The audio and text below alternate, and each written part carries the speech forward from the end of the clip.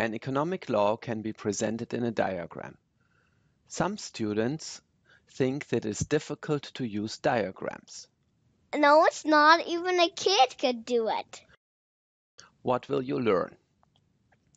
You will learn that an economic law can be presented in a diagram and how that can be done. You will also learn how to use the diagram to get answers for if-then type of questions, such as if the price is $10, the demand for cars is 5 million.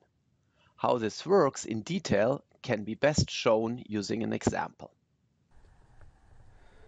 The blue graph in the diagram shows ants' consumption behavior.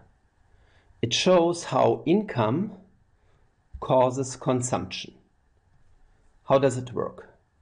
Let's say we want to find out what is the consumption that is caused by an income of 60,000. So first we look for an income of 60,000, which is here.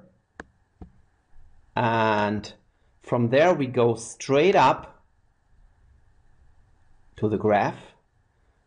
Then from that point we go horizontally to the left and we end up at 50,000.